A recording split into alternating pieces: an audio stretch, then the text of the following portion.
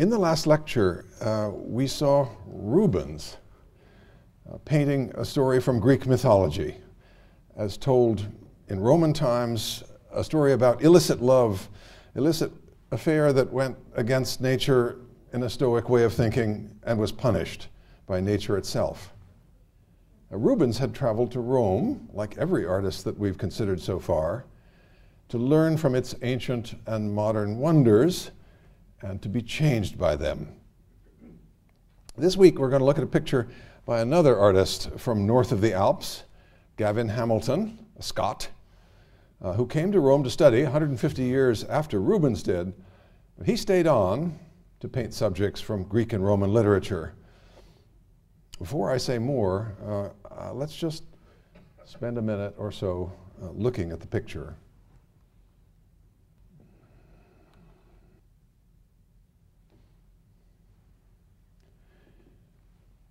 We see people represented a little over life size filling the picture. In the center, a muscular man in armor steps forward, looking upward, uh, clenching a dagger and flinging up an arm. Holding onto his cloak uh, is a young woman who has one breast bared to reveal a stab wound her eyes are half closed. There's blood on the stone floor uh, next to a scabbard. She's being supported by a man who covers his face with his cloak in grief or possibly in shame. The man at the center holds the dagger point up, and we can see that it's bloody. His arm is being held up by the older bearded man next to him. He points one finger at the bloody dagger. The third man puts one hand to his heart, and with the other hand holds a short sword uh, in a sheath. All three men stride forward over a pile of armor on the floor, a helmet, and a spear we see that the figures are arranged in two groups the wounded woman and the grieving man on the left, and the three excited men on the right. Separate groups, but linked by the woman's arm and her gesture of seizing the cloak exactly in the midline of the composition. The light in the room is dim, but in the background, we can actually see a young person raising the curtain and looking in with a gesture of surprise. and we can see two thick columns and some green curtains, and that's all. I think you don't need to know who's who to make sense of what's going on here. The artist has made that emphatically clear. a dying woman is appealing to armed men who are looking towards heaven. What we have is one of the key episodes in the history of early Rome. The artist and his audience would have read in it, read it in uh, Livy's account, uh, written in the time of the Emperor Augustus. And Livy tells his readers that he emphasizes not only what happened to, the, to their, their ancestors, but particularly the morals to be drawn from the events. So that, to quote him, the record you can find for yourself and your country you may start again.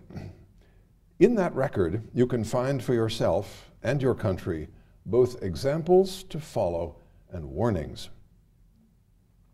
Livy tells how for 25 years Rome was ruled by its last king, Lucius Tarquinius Superbus, Superbus the Proud, who was increasingly oppressive to the people and to his nobles. One of those nobles, uh, a talented nephew of the king called Lucius Junius, was afraid of being assassinated and faked being stupid, for which he got the nickname Brutus, or dimwit. Another nobleman, Collatinus, had a wife, Lucretia, who was beautiful and especially virtuous. One of the king's sons, Sextus Tarquinius, who was deceitful, vicious, was smitten by Lucretia, and while he was a guest in her house, he came to her bedroom late at night and threatened her with a knife. Either she would submit to him, or he would kill her and a slave and put their bodies in bed together. Then he'd say he'd surprised them. And this would be to her everlasting disgrace and that of her family. She submits to rape. And afterward, she tells her father what happened and gets him to summon the husband, Collatinus, and Brutus, and another friend. And they gather. Lucretia says to them, and now I'm reading from Livy again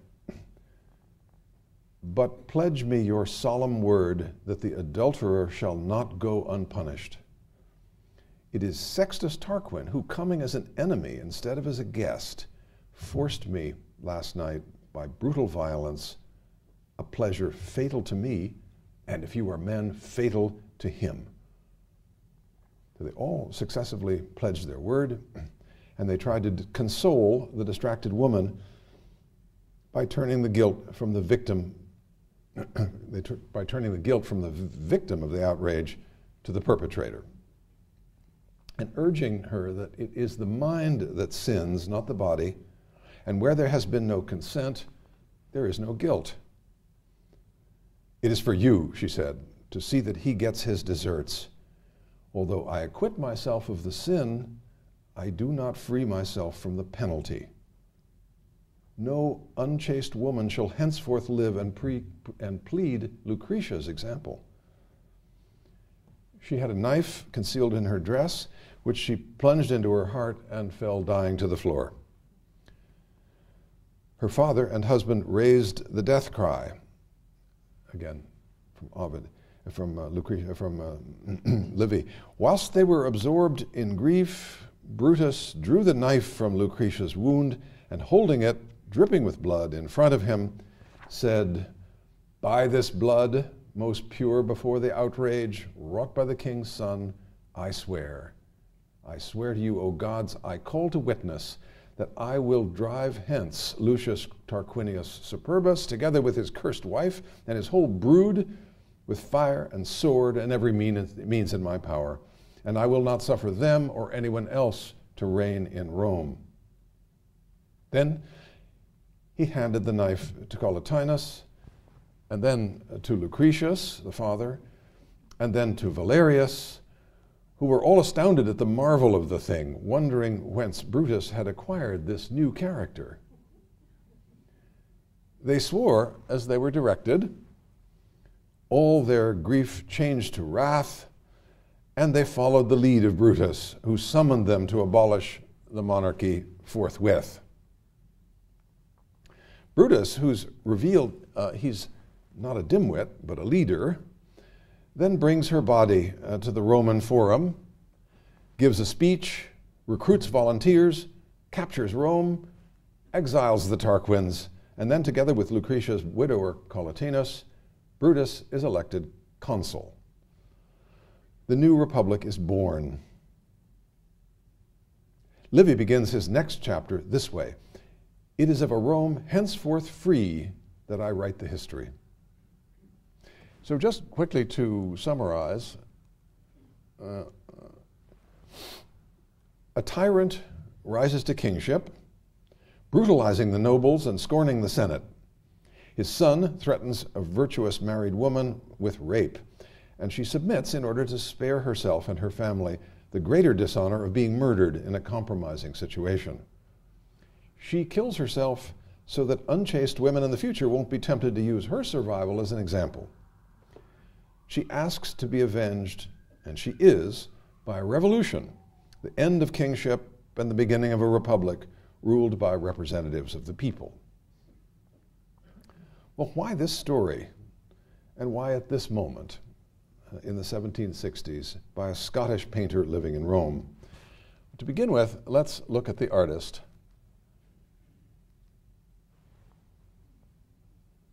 Gavin Hamilton was a versatile man. He was born into a Scottish noble family, had a university education, and found his life's work in Italy as an artist, as a student of Greek and Roman art, an excavator, a dealer, a host to countless travelers to Rome, British and otherwise, and a guide and a mentor to younger artists. For many visitors, Hamilton's studio was one of the attractions of Rome. After his studies at Glasgow University, Hamilton did in 1748 what well to do Scots and Irish and English young men had been doing for more and more and often for the past 30 years. He traveled to Italy, and apart from a few short returns home and trips all over Italy, Hamilton remained in Rome until he died in 1798. His teacher was Agostino Masucci, uh, the leading history painter who taught him the basic techniques of composing figure paintings and taking a mild, colorful, anecdotal approach to his subjects with lots to look at, which Hamilton soon got far beyond. Hamilton had read Roman history and literature at school and in the university, but his life was changed by encountering actual Greek and Roman statues. More and more material was coming to light around Rome and Naples, it was only a century earlier that marble was still being stripped from ancient Roman buildings and being burnt for lime. And the Roman Forum, uh, the greatest public space perhaps ever created, had gotten the nickname Campo Vaccino, cow pasture. And it was still being used for grazing, as you see it here in this painting by a Dutch artist. And um, in Hamilton's time, though, it, it was cleared, but only partly.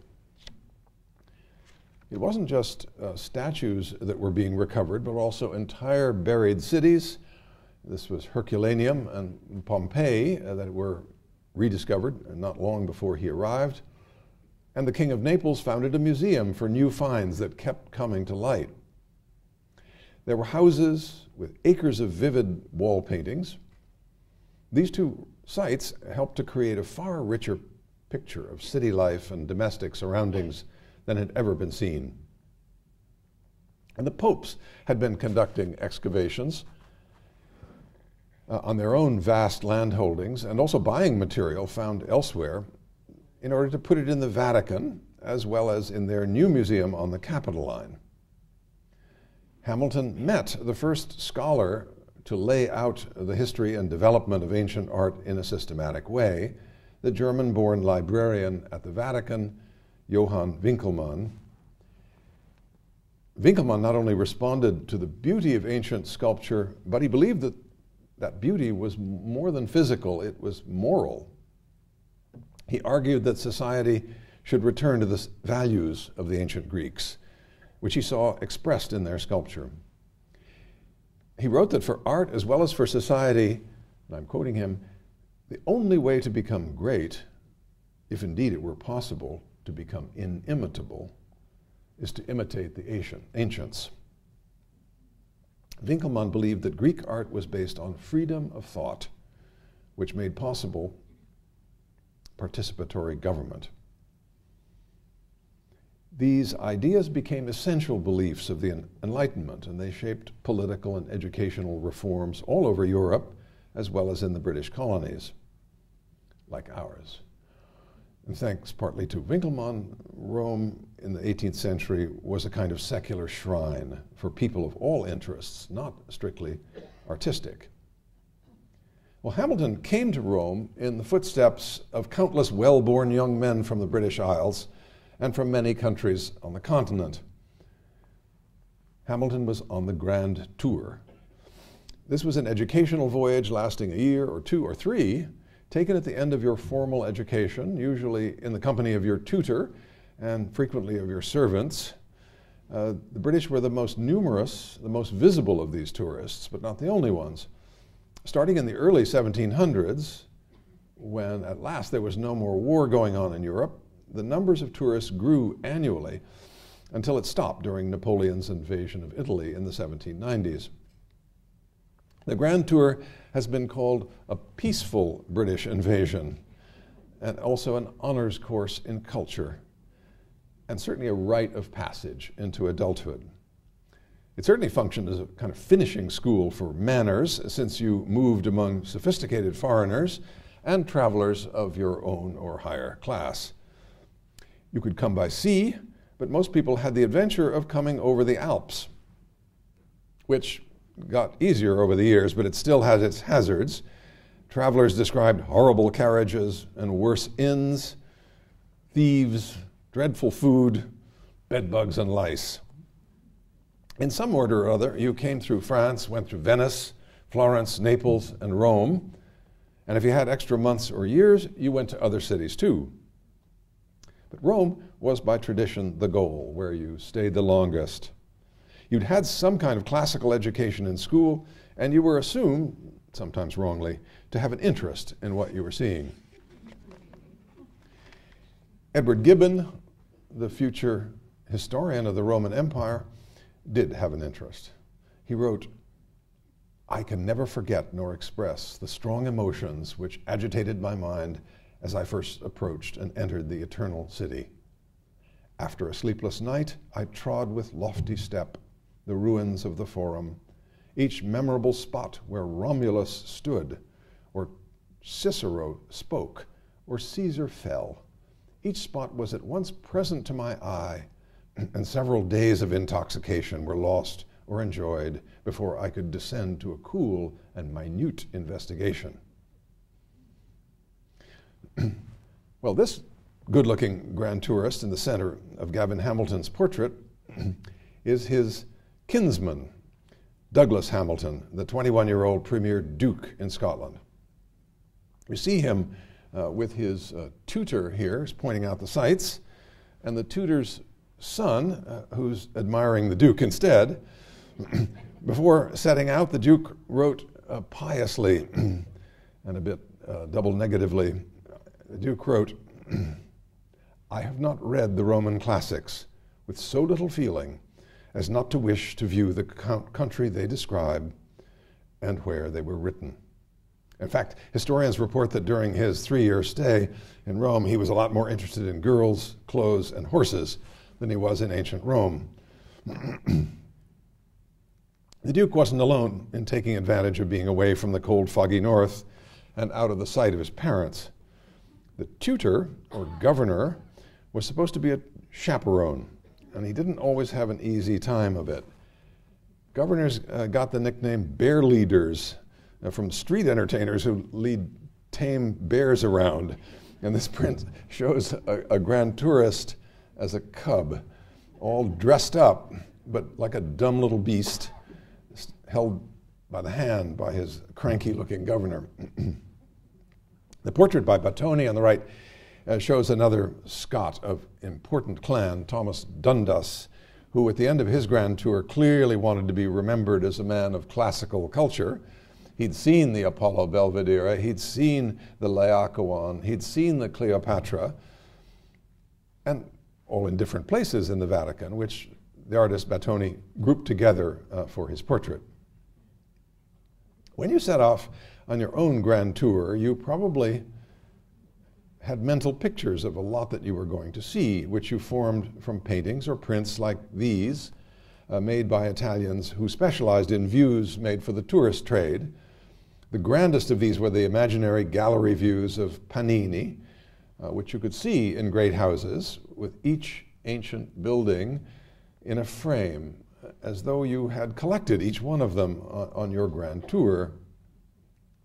The same with buildings uh, and statues of modern Rome. The ones that Panini chose to show in the painting helped to fix the tourist's itinerary. These were the sites that you needed to see. You got a preview and you inflated your in- expectations. Oh, this is, by the way, um, uh, one of Panini's uh, imaginary views uh, that's here in the gallery. Uh, you see the forum with buildings rearranged to let us see more, uh, and some sculptures moved there uh, by the painter's imagination from other locations. And tourists are wandering through, and there's a man in a toga, and peasants dressed up uh, in shepherds' uh, costumes, um, which um, are sort of ar- lend an Arcadian air to all of this, suggesting that, that antiquity survives uh, even in the habits of modern Romans.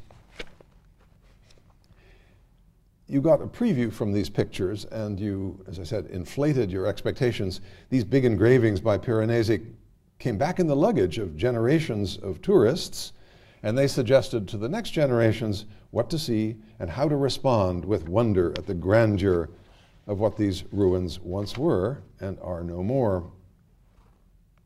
You might go to Venice too, preferably at carnival time when you wore a mask and you could get away with anything, uh, where nobody was digging up statues and where you hardly had to walk anywhere. You could just lean back in your gondola. Uh, the Feast of the Ascension gave you the best spectacle of all here, uh, with uh, the gilded galley of the Doge emerging once a year for the marriage of the sea. In any case, you might well buy a souvenir like this, painting by Canaletto, a painting by, to go with your panini back home. In Naples, and in the region, uh, there was a lot to see. Not only the ruins of Pompeii and Herculaneum, but also the volcano that had buried them in 79 AD and still upstaged them sometimes, especially in the 1760s and again in 1779 when Vesuvius put on a show of such wondrous eruptions that they were a kind of gift to tourists and to painters alike. and on the other side of Naples, uh, there was that strange uh, region of uh, sort of fire belching fields, a kind of vision of hell on earth uh, that was on everybody's must see list. At the archaeological sites, there was entertainment. You could be shown a Roman house uh, here being excavated in Herculaneum, and the guide would tell you, just for you, he'd open a door that had never been opened since antiquity. And again, amazing, there was a skeleton. You could buy things too, which grand tourists did. Um, that's what's going on here. In this drawing, where supposedly genuine antiquities are coming right out of that ruined house uh, uh, to, to, a kind of sales counter uh, at the site. Uh, the Brit, British writer Edward Clarke said about Rome it had been for so long been exhausted of every valuable relic that it became necessary to institute a manufactory for the fabrication of such rubbish as half the English nation came in search of every year. Hamilton himself led trips uh, to actual excavations of his own. Uh, here he's got a crowd uh, of well dressed people. You see him here. Uh, well dressed people at Gabii, which is a Roman city that he discovered which, by the way, figures in Livy's history of Tarquin the Proud. And I can easily imagine Hamilton reading bits aloud to his audience. From time to time, Hamilton himself uh, would serve as a guide for the more serious sorts of grand tourists. Very few people knew the collections as well as he did or could talk as expertly to the finer points of painting and sculpture. He could point out falsifications and particularly restorations, just as another man is doing here.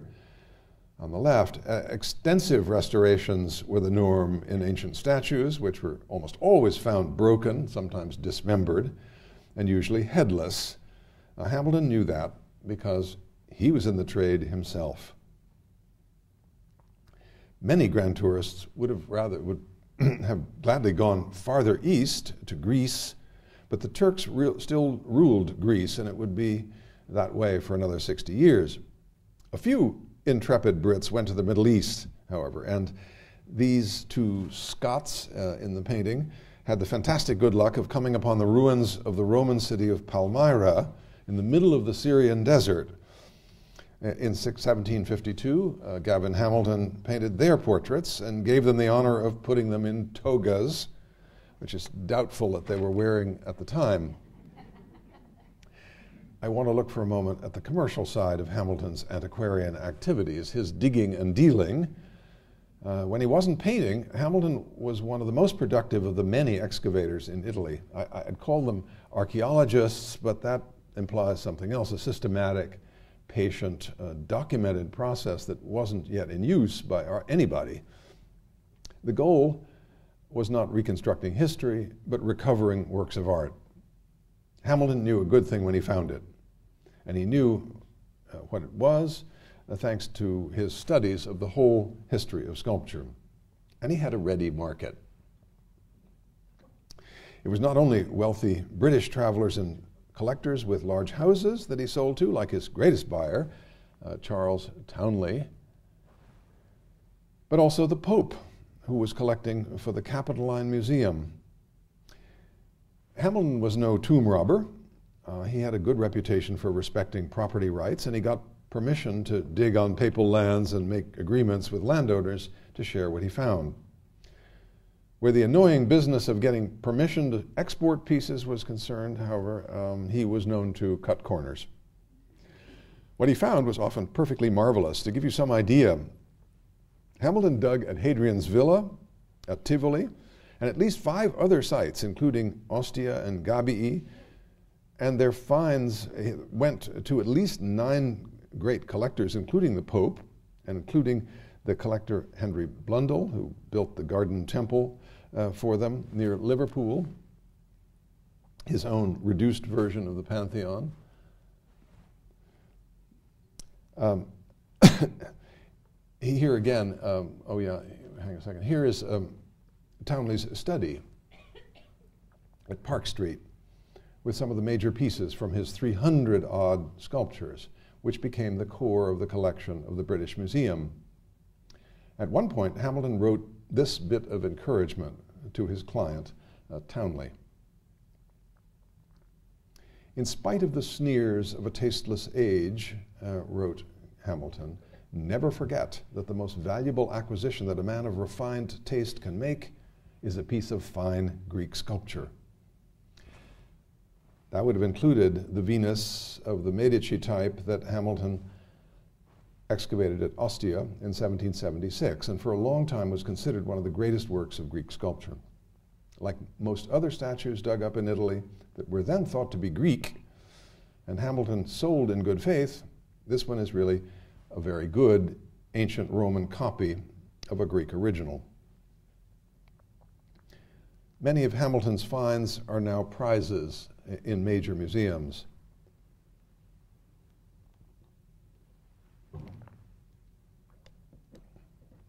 Hamilton was also a picture dealer. Most of his clients for antique sculpture also bought paintings, and Hamilton had a trained eye. Most of Italy in the 18th century was a kind of mine uh, for pictures. A couple of examples, both sold to Englishmen, both now in the National Gallery in London, by Raphael, sold by Hamilton to Lord Spencer, and Leonardo da Vinci, sold by Hamilton's heirs, heirs to uh, Lord Lansdowne. Hamilton took requests from his good clients, like Lord Spencer, and went out looking, apparently traveling a great deal, using various scouts and agents, writing clients uh, the letters that would keep their juices flowing. Uh, to give you the flavor, here's what he wrote in January 1766 to Lord Spencer, the young man you see on the left. Uh, I'm going to illustrate the letter as we go. A lot of this concerns a hunt for pictures by the most sought after painter of the preceding century, Guido Reni. I have the honor of your lordship's letter of the 20th of December, by which I find you are still desirous of the Barberini Magdalene by Guido Reni. It is certainly a most capital picture, considering the master, the subject, and preservation.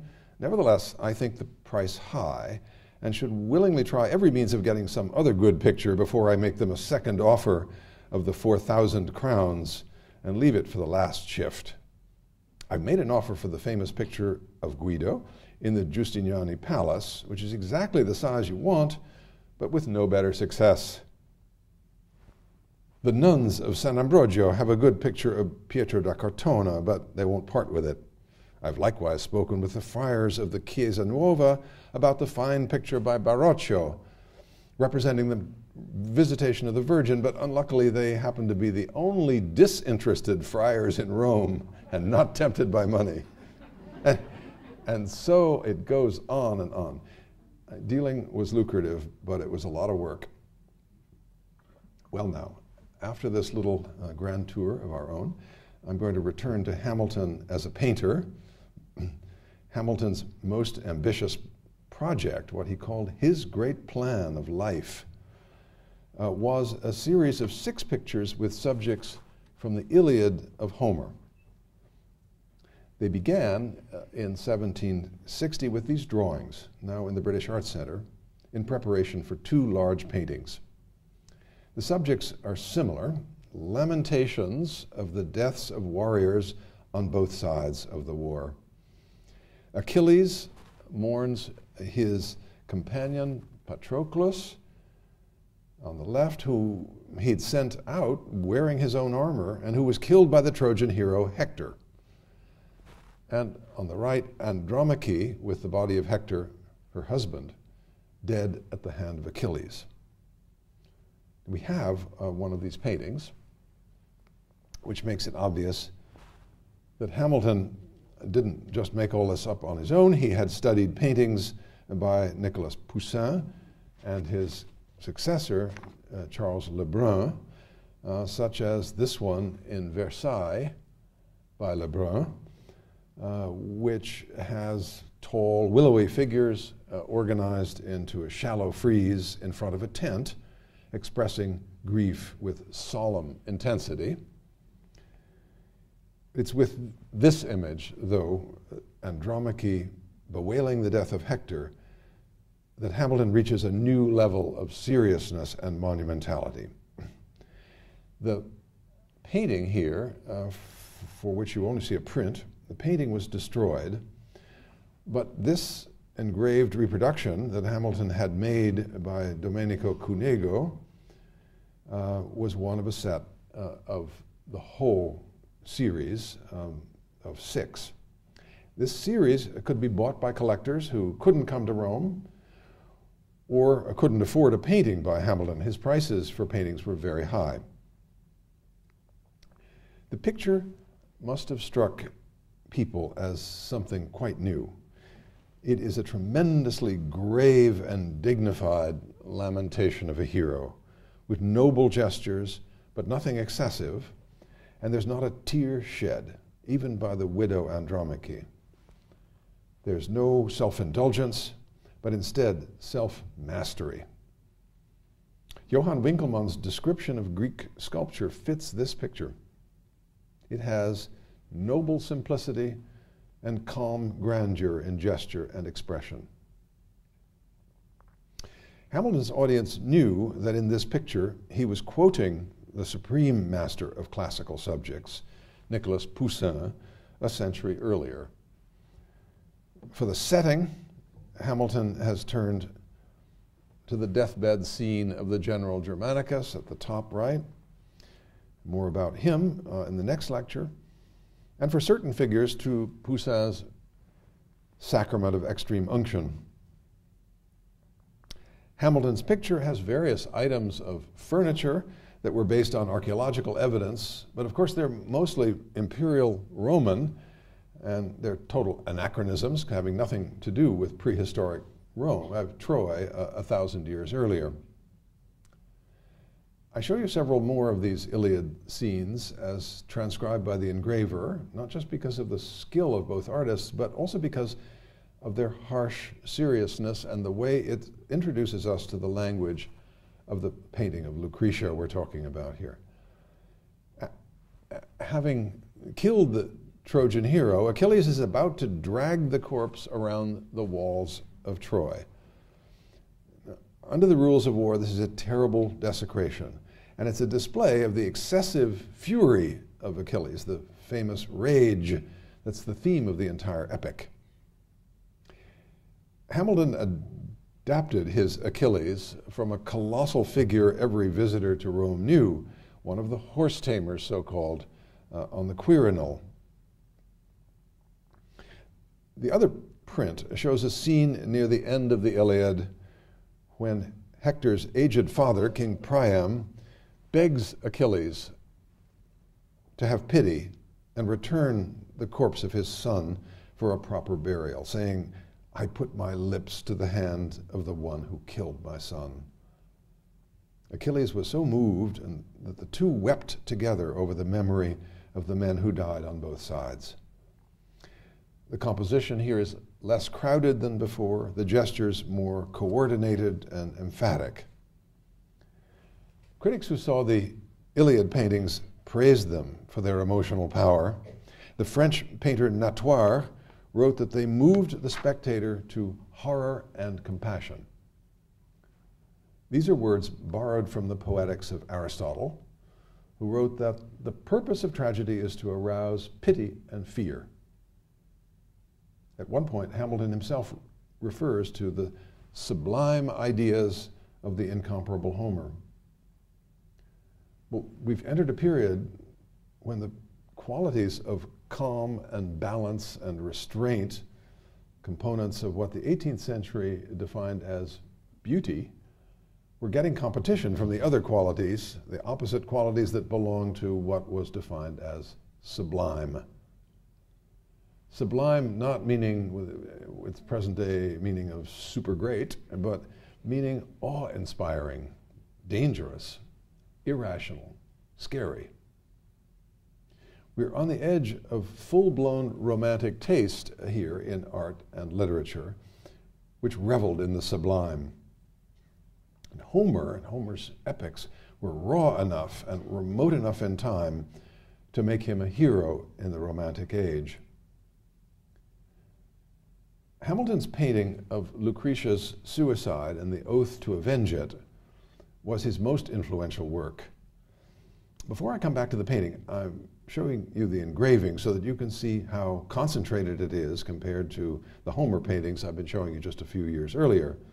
I also want to make the point that this engraving was all we knew about what Hamilton's painting looked like until about 50 years ago. The painting itself had belonged to the family of a man, the man who commissioned it in Rome in 1763, Charles, Lord Hope. It wasn't finished until 1767 and was, was delivered the following year after Hope's premature death to this place, to the family house uh, in Scotland, Hopetoun House, uh, the greatest house in Scotland, just outside Edinburgh, in, in sight, as you can see in the picture on the top, of the Forth Bridges. At some time during the next 150 years, the painting got somewhere out of sight in the house. Um, and in the meantime, another version by Hamilton himself, same size and very similar, had been hiding in plain sight in an unlikely place on the main stairs of the Theatre Royal Drury Lane at Covent Garden, where countless people have passed it on their way to the producers or the Lion King it was fully published, this picture from Drury Lane was fully published in 1961. Sorry, where am I? Um, in 1961 uh, as the lost first version. But six years later, the Hopetoun picture reappeared somehow and was sent to auction not once but three times, failing twice to sell until the artist and the subject and the importance of the picture were recognized. And then Paul Mellon bought it. There's a third version out there, still lost, by the way, and Hamilton wrote to an English patron about the composition that he'd managed to improve on the earlier ones.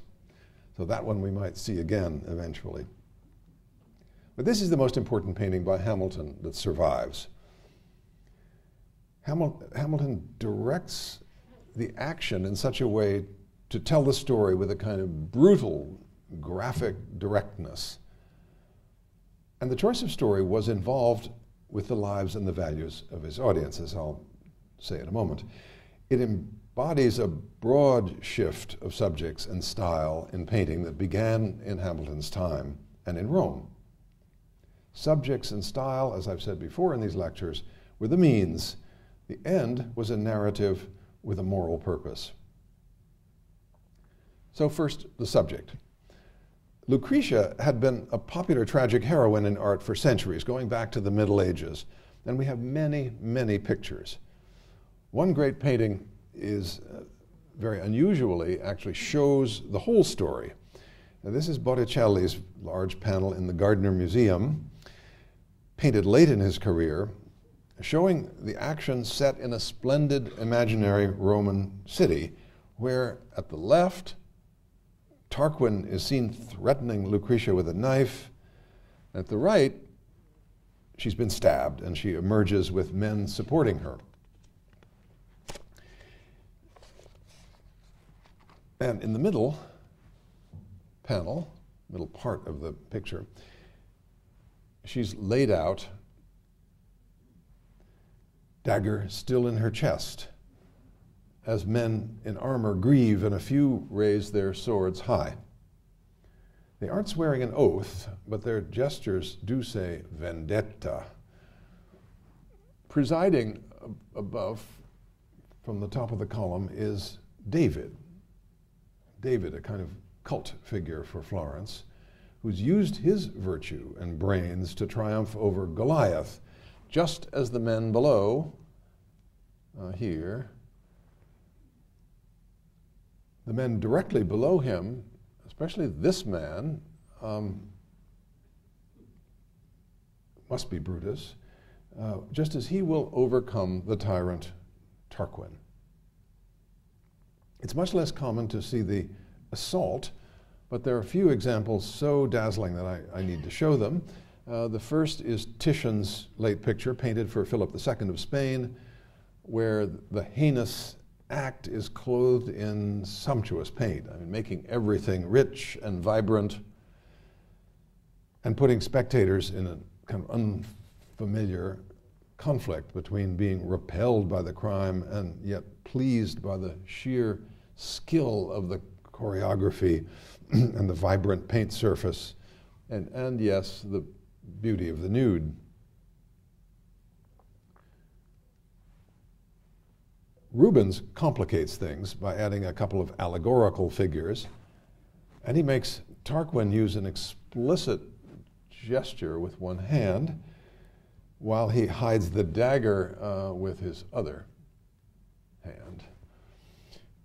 Lucretia is so gorgeously painted that the patron must have had several motives for owning the picture of this particular paragon of virtue one certainly being erotic titillation in a socially legitimate form. Most versions show Lucretia after she has stabbed herself. Sodoma stages the scene with two men in, at hand, um, presumably her father and her husband, using a kind of smoky half light to deepen the gravity of the act. He shows her torso down to below her midsection, which is very unusual, and only kind of notionally draped with the filmiest of cloth. The erotic intention of the picture here is pretty explicit.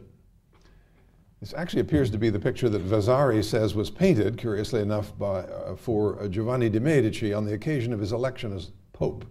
Pope, Pope Leo X. I'm, I think I will leave it at that. The German painter Cranach presents another aspect of innocence. This is Lucretia head to toe, wearing a transparent scarf and about to use the dagger. I show you this Lucretia by Guido Reni out of the dozens I could have picked because it shows Reni's formula for idealizing uh, piety and pathos, a, a formula that was admired and emulated throughout Europe and which Hamilton knew very well. You can recognize that in Hamilton here on the right, um, the detail shows the, this formula as well as the kind of smooth surfaces and clearly outlined forms uh, that we see in Guido Reni. This Lucretia is one of the most moving ideas Rembrandt ever had. To let her be fully clothed looking away, pensive, calm, and pulling the bell cord to summon a servant. It was unusual to combine the suicide and the oath of vengeance the way Hamilton did. But one contemporary of Rembrandt did just that, and we know that Hamilton actually bought and sold one of these two pictures by Luca Giordano, the traveling Neapolitan, each quite powerful in its own forcefully lighted and some, somewhat hectic way. The picture on the right, uh, seen in mirror image, might very well have suggested uh, to Hamilton how he could pose uh, Lucretia. The layout is roughly uh, similar, but the details uh, differ. Uh, Lucretia doesn't reach out the men are passing the knife around, as, as Livy says they did, before they swear an oath. So much for the subject. now let me turn to Hamilton's style, uh, his whole way of treating the subject, and say something about neoclassicism. which is a term that's used to cover the mainstream style of about 1760 to 1800, give or take a decade or so. It's a kind of sloppy term, partly aesthetic, partly moral and political, often overlapping. That overlap of aesthetic and moral and political can have an exciting result. Um, in history painting in particular. For example, in this painting you all know, painted 17 years later in Rome by Jacques Louis David, which has become a kind of poster image for the French Revolution. Even though it was painted in Rome for the King of France, and it didn't have subversive intentions at all. It was only later, after the revolution, that revolutionaries saw themselves in it as brothers uh, united in their resolve to fight no matter what happened. and David certainly knew Hamilton's death of Lucretia, possibly in the original, certainly in the engraving that you've seen. And here he adopted it freely for an earlier episode in Livy's history. Two centuries before the story of Lucretia and Brutus, there was a feud between Rome and Alba Longa. And Livy says that since each tribe had a set of male triplets, they decided to settle the dispute by single combat, actually triple combat. David shows a scene that's not in Livy. David actually dreamt this up. and before the battle, the three young Horatii, representing Rome, swore, swore an oath, just like Hamilton's trio. The women and children show the fear and sorrow that was thought to be natural to their gender and age. The men, by contrast, are taut in every muscle with the sheer force of their wills. In David's huge picture, the intervals between the figures uh, are greater. The surrounding space seems to reverberate. The setting is clearer than in Hamilton's picture and just as austere. But the derivation, I think, is still pretty clear. Artists in the 1760s didn't use the word neoclassical. That was dreamt up about a century later but they were aware of the newness of what they were doing relative to the painting of the so called Rococo period that they brought to a rapid end. Their work was a revival, as they saw it, a renaissance. Their name for it was the true style. Their idea was to return to fundamentals, take art back to basics. Well, this is a familiar refrain that you recognize from the Protestant Reformation and practically every other reform of churches and political bodies. Reformers always claim to be getting rid of the superfluous and the corrupt, the amoral and the unserious, and to be leading the faithful back to the truest and simplest and best that there once was. In my title for this lecture, I quote an ideal for history painting defined by Denis Diderot to paint the way the Spartans spoke. Ever since Plato, people of ancient Sparta were known for being terse, to the point, laconic. In fact, the word laconic means from Laconia, and Laconia is another name for Sparta. Diderot reviewed the annual Salon exhibitions in Paris for 20 years during this period, and he was announcing that the wind was shifting. Paint only what counts, in other words, pare it down to the essentials. Painters in France had done everything but that during the previous half century, the era of the style that got the mocking name Rococo. In France, uh, Watteau's reception piece for the Academy as a history painting, painter was set in the classical world, all right, but on Cythera, on an island dedicated to Venus. And it's not about eternal virtue, but about the fleeting joys of love. Watteau satisfies what Voltaire described as taste as follows Taste for Voltaire was a quick discernment, a sudden perception, which, like the sensations of the palate, anticipates reflection. Like the palate, it reflect, relishes what is good with an exquisite and voluptuous sensibility and rejects the contrary with loathing and disgust. Well, even when the subject was the Old Testament, there is still pleasure and excitement uh, in Fragonard here, uh, still a, what Voltaire called a, a, voluptuous sensibility. This is the painting that Fragonard, uh, for which he got the chance to study in Rome with Hamilton's own teacher, Masucci. The proud king, Jeroboam, learns from a prophet that his altar is going to be destroyed. And he tries to arrest the prophet, whereupon the altar crumbles and the king's hand withers. The staging is wildly elaborate. The action is agitated, and there's a flavor of caricature to the extravagant costumes and gesturing figures. This is what Masucci had to teach a skilled, conservative re- reenactment of a recent miracle in an idealized setting with participants who are lightweight, well dressed, and well behaved. This was recent history, but Masucci could have given you Greek or Roman if you, if you wished.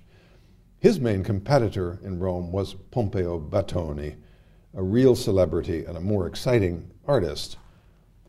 He was famous for portraits, as you've seen, but he also painted subjects from the Bible and mythology with gorgeous color and a great deal to look at. Now, this story is from Iphigenia in Aulis by Euripides, climax of the play when the god Artemis has told Agamemnon to sacrifice his daughter, Iphigenia, in order for the Greeks to have a fair wind to go uh, to Troy. It's a kind of prequel to the Iliad in Hollywood terms. She, she offers herself, and he's just about to do the deed the moral of the story here is something like Lucretia's. A self sacrificing woman makes it possible for the men to succeed in their great enterprise. Within 20 years, tastes in Rome have begun to change. This is the fresco by Mengs on the ceiling of the brand new villa on the Villa Via Salaria, built for Cardinal Alessandro Albani, who was a great collector of antiquities and a supporter of Winckelmann. For the cardinal, uh, this painting uh, of Parnassus uh, must have been a kind of statement of faith, not faith in the church, but in the eternal virtue and beauty of the ancients, the pagan gods grouped around Apollo. The figures are still relatively slender and light, it's true, but they are composed with a kind of calm symmetry and measured intervals. This was a mild preview uh, of what was coming very soon which was the full force of Hamilton's new Iliad pictures and the Lucretia, weighty and aflame with moral fervor. These compositions traveled in reproduction, as we've been seeing, and their influence was felt very quickly. Uh, Hamilton's Lucretia obviously encouraged this little known French painter, uh, Beaufort, uh, to give the subject a try. He takes over the layout and some of the poses but the colors are still bright and the figures slender and the setting, setting is sumptuous, full of carpets and drapery and swanky furniture. When he revised this sketch into a full scale work for the Salon, Beaufort turned, toned it way down. He made it more fashionably serious by subduing the color and focusing the light and making a single a stage, stage space that's shallower and more austere. The print has a caption that emphasizes not Lucretia, but as you see, Brutus. And it's the men's oath taking here that provided a handy image of political solidarity for several European revolutions. This was the oath, of course, that drove out the tyrant king and launched the Roman Republic. And so, with a few changes of costume, it served other artists. For example, the painter Fuseli, uh, the Swiss painter on the left, served him for an emblem of Swiss unity, the medieval confederation of the cantons that was supposedly formed by an oath sworn on a meadow near Lucerne. And again, on the right by David, several years after the oath of the Horatii, an actual oath by deputies to a national assembly proclaiming that they and not the king were the ultimate power. The young American uh, John Trumbull, on the left, who'd served briefly in the militia during the American Revolution, was working in 1777 in Boston, teaching himself to become a history painter. Used the engraving um, by Hamilton, after Hamilton, for his own version uh, of the scene. It lacks uh, Hamilton's sort of stern energy, but I think its subject, uh, sacrifice, its resolve, may well have been intended uh, for American, a model, say, for American patriotism and the will to liberty. I want to finish by returning to several questions. And first of all, why this Roman subject painted by an emigre Scot and painted um, and bought by a Scottish buyer? This was a time uh, when educated British and Scottish people thought a great deal about Roman virtues and Roman models as they applied, as these might apply to uh, their own monarchy and parliament. There had been vast changes since 1700. The king's power had been very severely limited by the Bill of Rights, and the shift of political weight to a cabinet and a parliament in which the great landowners, the rich traders, and the bankers were dominant. It had been a kind of bloodless revolution. And it caused those on the left and the broad middle, what, what we today would call progressives, to believe that they themselves were actually realizing, succeeding in realizing the political ideals of their Roman predecessors, who had been inspired by the memory of the founders that Hamilton painted. The houses these people built were now apt to look Roman, like Lord Burlington's villa and garden buildings at Chiswick, full of statues of eminent Romans. They advertised Burlington's enlightened politics with Roman temple fronts, a rotunda, windows from Roman baths, as brought up to date by Andrea Palladio during the late Renaissance. Burlington's villa, and soon dozens of others in England and Scotland, embodied all that was great, both ancient and modern. What can we say about the moral of the picture? Well, from our viewpoint, um, we have here the classic case of blame the victim. Livy doesn't question the moral code that caused Lucretia, who was raped, to blame herself for bringing dishonor to her family and killing herself in order to restore that honor. The men saw that injustice, though. You heard Livy say that before she died, the men, I'm quoting again, tried to console her by turning the guilt from the victim of the outrage to the perpetrator, urging that where there has been no consent, there is no guilt. And she says, Although I acquit myself from sin, I do not free myself from penalty. Her last words are No ch- unchaste woman shall thenceforth live and plead Lucretia's example. She dies, in other words, so that she'll be an example to women who really do sin. To them, she says, in effect, do the honorable thing as I did. Well, to us, this seems like an impossibly high minded act or on a grossly unjust premise. It's a kind of honor killing, but committed by the victim herself. I use the term honor killing because it's in the news a lot these days. It's survived honor killing for millennia into our own time. It seems to occur in many different cultures and religious conditions. It's often rooted not just in conceptions of honor, but also property rights. The idea that a woman's purity has value to her family, and to lose it, let alone squander it, is a deep offense that must be punished in order to maintain social order. In any case, Livy's Roman readers would have understood the story differently. In a family, they believed, the father is the law and Livy gives another example, uh, an event 50 years after Lucretia, when the Republic had declined into an oligarchy ruled by a Council of Ten, and, was, and it was restored by the case of Virginia. I'm showing you an engraving after a lost painting by an English contemporary of Hamilton, man he knew, in Rome, uh, Nathaniel Dance. Virginia was a Roman schoolgirl, uh, engaged to be married, who was accused of being a slave by a henchman of the corrupt leader of the council, who wanted Virginia for himself.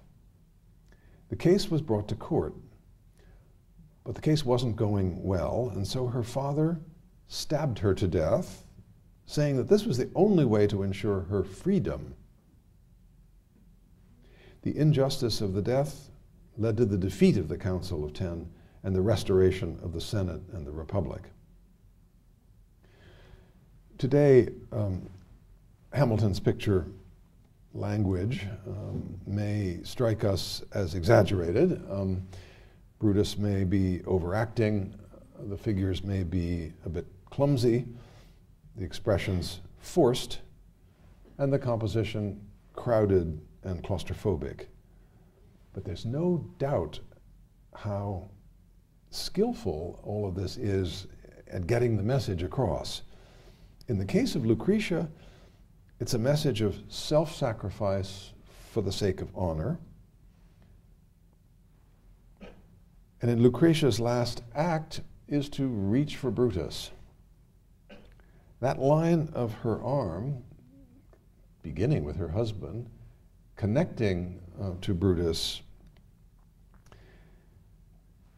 that line connects them graphically and emphasizes that she's transmitting to Brutus an obligation. It comes to a climax of the upflung arm. An obligation to avenge her for the crime that was committed by the rapist prince, and to avenge Rome as well, which was suffering under the tyrant king. So here the private becomes public as the men accept their obligation and they swear to meet it. Doing so has huge consequences for the citizens of the state, consequences greater than from anyone here in this picture, and consequences for history. After Gavin Hamilton painted another scene in 1767, uh, of a heroic Roman matron, this one, of the widow Agrippina landing in Italy with the ashes of her husband.